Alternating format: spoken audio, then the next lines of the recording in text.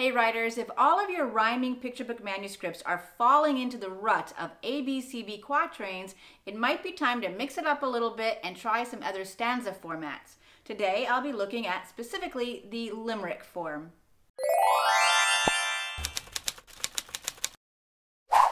Welcome writers, I'm Renee Latulippe with the Lyrical Language Lab, the place for Kidlit writers to learn all you need to know about rhyme, meter, and lyrical language.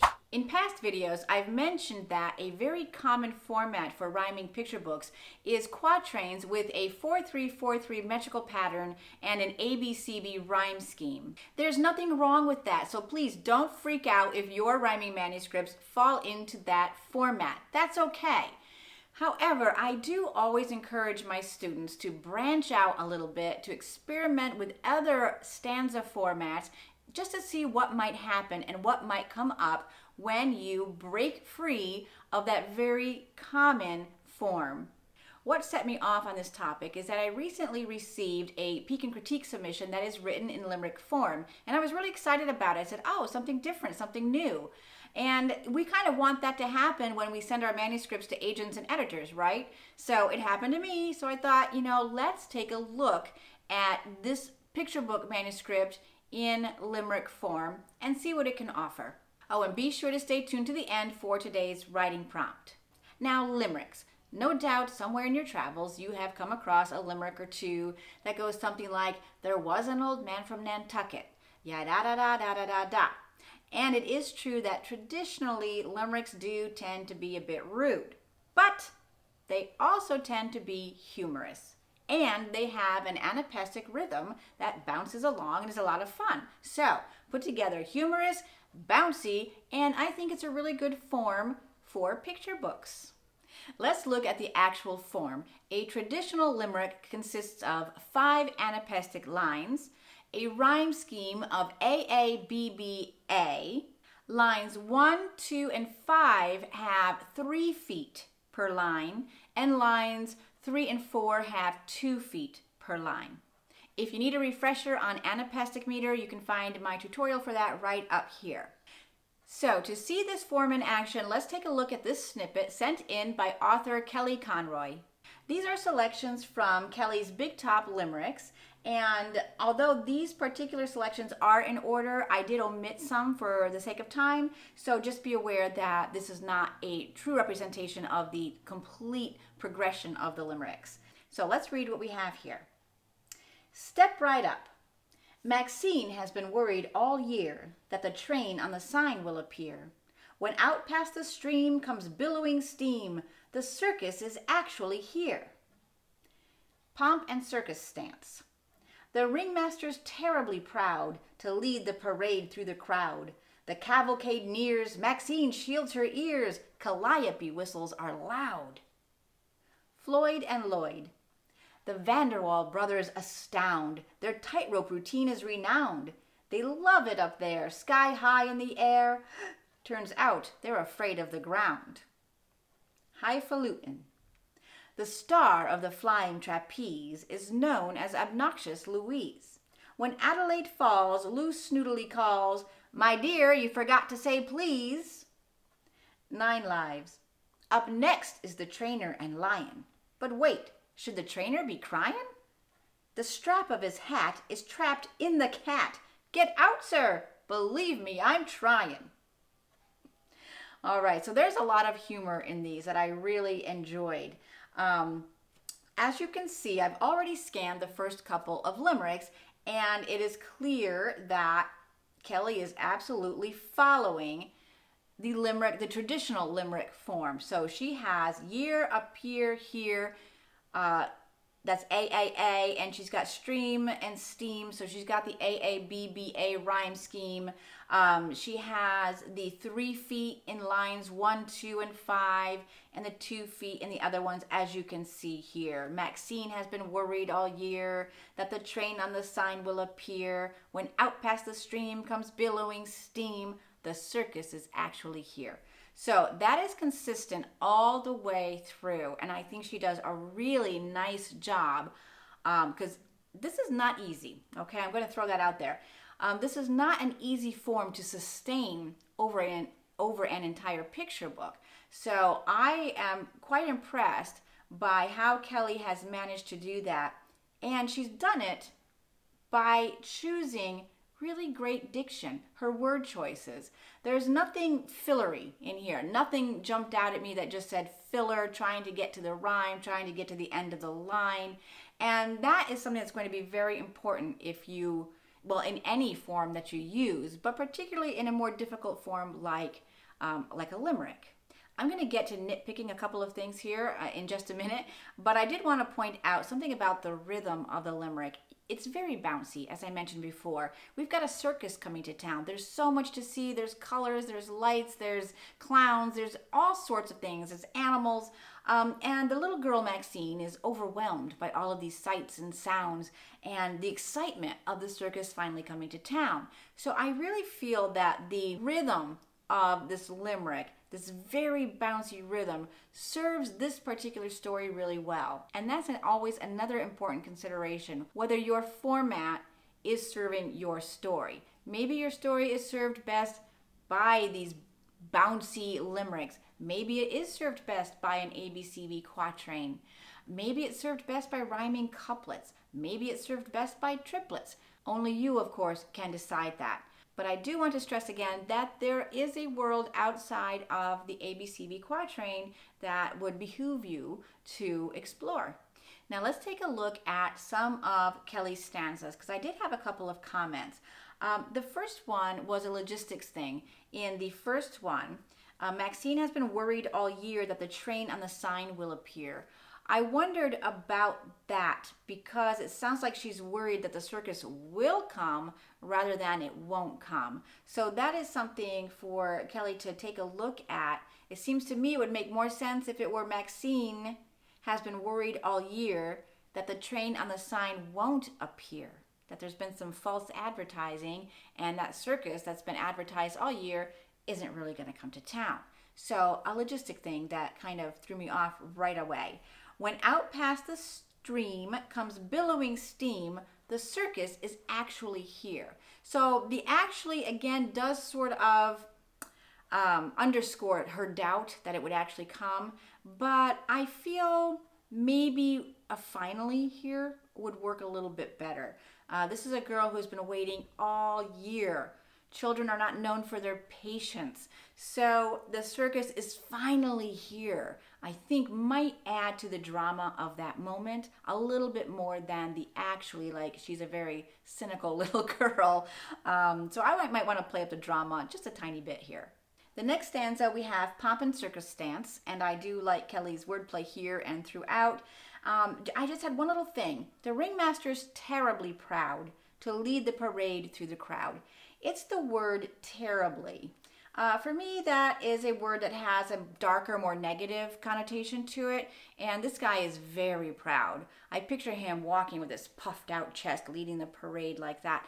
So I think I would just prefer a word here that better conjures that more positive image. Now, from this point in the manuscript, we see that all of the acts have a series of mishaps. So nothing goes right in the circus at all. And I think that's a really fun premise. Um, for example, we've got the Van der Waal brothers. It's clear that we're going to need the illustrations to support this because they're up there, they love it up there. And our last line, which is our punch line, turns out they're afraid of the ground. So clearly they've fallen into the net or wherever, um, and you'll need that illustration to back that up. Same thing, we have highfalutin. The star of the flying trapeze is known as Obnoxious Louise, and we know that she's falling. And again, illustrations are going to play very heavily into this particular um, picture book. I did have one thing in this stanza. Um, she's known as Obnoxious Louise. When Adelaide falls, Lou snootily calls, good word, snootily, uh, my dear, you forgot to say please. Now, Louise is a woman. I'm Adelaide is a woman. Lou, I'm assuming, is a short is short for Louise.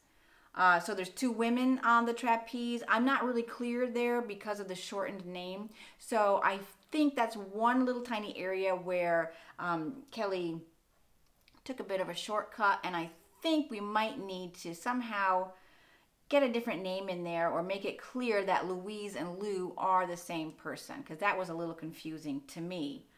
And uh, one of my favorites is the lion stanza. I think it's really funny. Uh, should the, should the trainer be crying? The strap of his hat is trapped in the cat. There's just a lot here to play with with illustrations. So I think that is one of the very strong points of this manuscript. Now, I did have a question for Kelly, an overall question that has nothing to do with the limericks, and that was um, since these all have titles, I wondered if this was a poetry collection or if it's a picture book. I did see the entire manuscript on this one, and there is an arc. There, the mishaps continue, and then there's uh, a nice little tied up ending. However, the titles for every poem are throwing me off. It makes me think that this is a poetry collection. But there's an arc, there's a storyline going through here. So I feel like it's um, neither fish nor fowl quite yet, and I think it needs to be one or the other. Uh, granted, a poem picture book is one long poem that doesn't have a real story with plot and everything, but it does have an overall arc. But this isn't that this is more of a real rhyming story picture book. So I think my first advice to Kelly would be to go in the direction of a real story picture book, which means ditch the titles. Because as you heard when I read, I had to continually stop the flow to read a title. And we don't need those titles because the illustrations are going to take us from scene to scene to scene throughout the book. I'm not showing the end of the book here, but I would like Kelly to consider this. We have this series of mishaps. We see that Maxine is actually really enjoying herself and laughing along and thinks that having a grand old time, even though everybody's messing up everything. But I think you need to go further in trying to figure out how Maxine is going to figure more into this story. Uh, because I know Kelly also mentioned that she wasn't sure which way this was going to go. And I think if you really work on Maxine's role more and beef it up a little bit and figure out how she's going to be the hero at the end of this story, I think that's going to help you out and to give you um, a, a larger arc and a more complete arc. And that's my two cents for Kelly, other than to stick with the limerick format because I think it's working really well for you. You've got a great handle on it, and I think it's helping you a lot to push on the humor that's in this manuscript. So stick with that, keep doing what you're doing, but beef up Maxine's role, and I think you'll be in a good spot. So thank you so much, Kelly, for sending this in and letting me nitpick you in public. Now, you can certainly find the limerick form in published works as well, and one of the best examples I've seen is in the Ninja books by Corey Rosen Schwartz. She has the Three Ninja Pigs, Ninja Red Riding Hood, and Hansel and Gretel Ninja Chicks. Corey uses a slightly modified limerick form in that she does not strictly follow the AABBA rhyme scheme, and that's okay too. She found a variation that worked for her, and you can do that. Variations make the world go round, and her limericks sound great just the same. Uh, let me show you what I mean by the variation that she uses. Here's the opening to Three Ninja Pigs. Once upon a dangerous time, a wolf loved to huff and to puff. He'd go around town and blow houses down till three little pigs cried, Enough! So as you can see, she is following the metrical pattern of the traditional limerick, meaning it's anapestic and the first two lines and the last line have three feet and the two line, little short lines have two feet. So that's all good and well. But the rhyme scheme here is A, B, C, C, B, meaning that the first line of every limerick has no rhyme and instead she is rhyming puff and enough, so line two and line five, and then lines three and four. But line one in every limerick is just unrhymed, and that's okay. It works great. Case in point, here's a spread after all the little pigs are taking their various martial arts classes. His brother, Pig 2, took jujitsu and learned how to block and to punch. When that wolf comes to knock, he'll be in for a shock. Kaya, I will eat him for lunch. Do you miss having a rhyme in the first line? I don't. Uh, the rest of it hangs together so well. It's so solid because Corey is a master rhymer uh, that that first line just hanging there doesn't bother me in the least. I don't even notice it. And in fact, I think it works beautifully to give the reader a little bit of a break because limerick after limerick after limerick could possibly get a little bit heavy depending on the subject matter and the word choice and all that good stuff. Uh, so Corey, I think, was very smart here in letting that line hang and give some breathing room to the reader. The point is that you can not only explore a rhyming verse beyond the tried and true workhorse of the quatrain, but that you can also experiment and make formats your very own. So let's get to the writing prompt.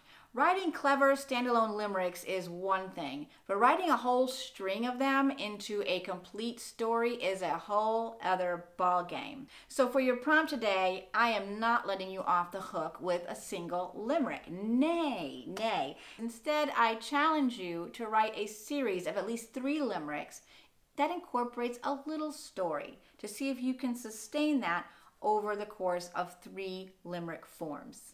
You can choose a traditional limerick format, you can choose Corey's modified limerick format, or invent your own variation. It's up to you. And if you would like to put your limericks in the comments, I would love to see what you come up with.